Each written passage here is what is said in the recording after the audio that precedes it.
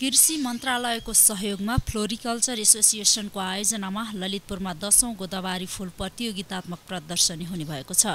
गोदावरी पुष्प प्रतियोगितात्मक प्रदर्शनीको मुख्य उद्देश्य उद्देश्य पुष्प व्यवसायीलाई व्यवसाय प्रवर्धनमा हौसला प्रदान गर्ने व्यवसायीहरूबीच प्रतिस्पर्धात्मक भावनाको विकास गरी गुणस्तरीय उत्पादनमा टेवा पुर्याउन रहेको छ।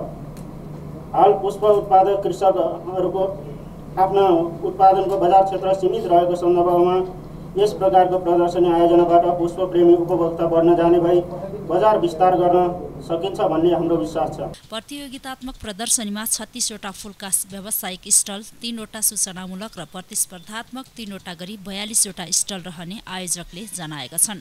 काठमाडौँ बाहेक पोखरा चितवन हेटौँडा काभ्रे र धनगढी लगायतका उन्चालिस जिल्लामा छ सय पचहत्तर पुष्प फार्म र नर्सरीहरू सञ्चालित छन्।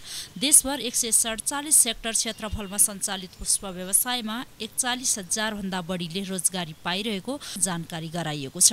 मेलामा तिस भन्दा बढीले अवलोकन गर्ने र पैँतिस लाख रुपियाँ बराबरको कारोबार हुने आयोजकको अपेक्षा छ। मेला चार दिनसम्म चल्नेछ। रातोपाटी